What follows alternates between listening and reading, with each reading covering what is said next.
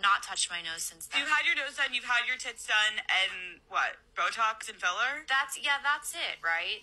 Oh, there's one thing I had done that I'm gatekeeping because sorry. What? It was it was really good and it's not a known like plastic surgery. People don't even really know about it. You don't need it, I don't think. really. You, you're not gonna want it. I wanted If you take a close look at these before and after photos of Megan Fox from when she was younger to now, notice how she had thin eyebrows and now she has thicker eyebrows.